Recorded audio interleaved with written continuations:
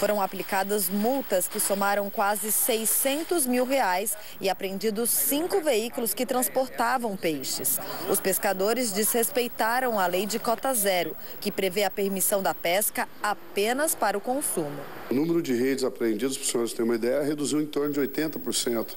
O número de boias apreendidas reduziu em torno de 40% e, e o número de tarrafas em torno de 38%. E uma comissão parlamentar